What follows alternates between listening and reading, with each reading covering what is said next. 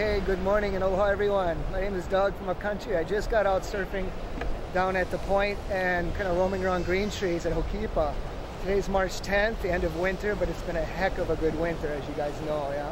Um, kind of a dropping two to three. I, see, I saw one five foot bomb come in, uh, kind of onshore wind, a little bit of uh, north northeasterly coming in.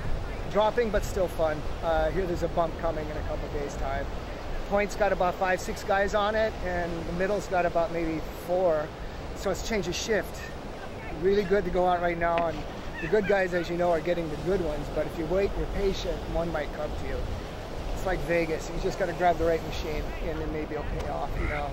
But I had fun. Now I got to go cut my lawn. I hope you get down here and catch some of the last of this winter going on. Aloha.